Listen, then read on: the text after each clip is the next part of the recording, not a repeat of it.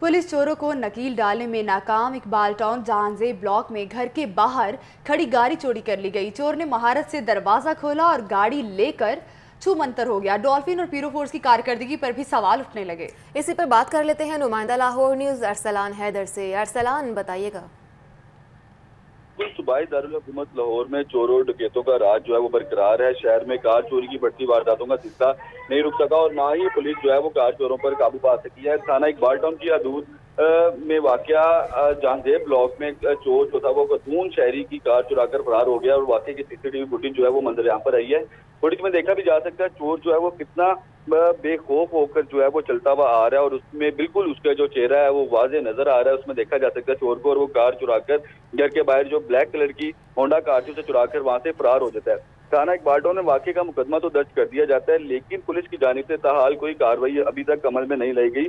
جو واقعے کا مقدمہ تھا، یہ یہ جو درج کیا گیا ہے، یہ جو خاتون تھی، نہیر اکرام، اس کی مدیت میں درج کیا گیا، لیکن خاتون کا متاثرہ خاتون کا کہنا ہے کہ پولیس کی جانب سے ابھی تک کوئی بھی ایکٹیویٹی شروع نہیں کی گئی، نہ ہی کوئی کاروائی کا آغاز کیا گیا ہے۔ C C T V footage بھی پولیس کو فراہم کر دی گئی ہے لیکن پولیس اس کے باوجود ٹھیک ہے ارسلان فوٹیج میں دیکھا بھی جا سکتا ہے کہ جو چور ہے اس کا چہرہ بھی صاف دکھائی دے رہا ہے پھر بھی پولیس کی جانب سے اتنی سست روی کا کیوں مظاہرہ کیا جا رہا ہے؟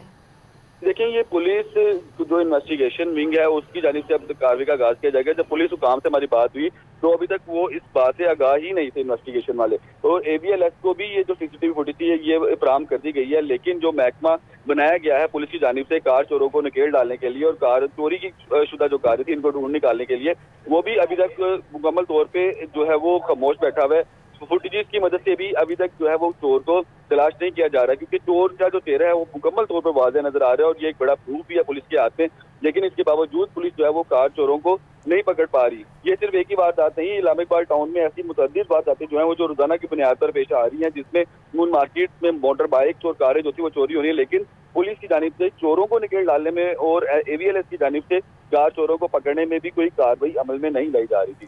اچھا سلام جس طرح سے آپ نے دیکھا ہوگا کہ کرائم ریٹ جو ہے وہ دن بدن بڑھتا ہوا نظر آ رہا ہے۔ کیوں پولیس کوئی اسٹریٹجی نہیں بناتی اس پہ اس کو اوور کم کرنے کے لیے؟ جی دیکھیں پولیس کی جانب سے جو اسٹریٹجیز ہیں وہ صرف یہی بنائی جاتی ہیں کہ لاہور کے دار سے راستوں پر جو ناکے تھے، ان کو تو تیز کر دیا جاتا ہے، لیکن ان ناکوں پر کسی بھی قسم کی جو کار چور تھی، یہ گاڑی چوری ہونے کے بعد مکمل شہر سے فوری طور پہ جو ہے وہ باہر جاتی ہیں۔ تو ابھی تک کسی بھی یہ جو جیسی کار چوری ہوئی تو اس کو تو متاثرہ کا گا، کہنا ہے کہ فوراً پولیس کو اطلاع کی گئی۔ فوٹیجز فراہم کی گئی لیکن پولیس نے واقع کا مقدمہ درج کیا اور وہ بھی ایک روز کے بعد۔ اور اب مقدمہ تو درج کر دیا، لیکن کاروائی کا آغاز جو ہے وہ تحال نہیں کیا جا سکا۔ متاثرہ خاتون کا کہنا ہے کہ اگر یہی سلسلہ رہا تو نہ تو اس کا کوئی چور پکڑا جائے گا اور علاقے میں ایسی متعدد جو ہیں وارداتیں پیش آ رہی ہیں کہ کار سوار کی، بارہا فوٹیجز پولیس کو فراہم بھی کی گئی، کاروں کی بیٹریاں ٹائر جو ہے وہ بھی چوری ہوتے ہیں، لیکن پولیس جو ہے وہ کار چوروں کو پکڑنے میں مکمل طور پر ناکام ہے۔ جی۔ ٹھیک ہے، پولیس جو ہے وہ کار چوروں کو پکڑنے میں مکمل طور پر ناکام ہے۔ بہت شکریہ ارسلان حیدر۔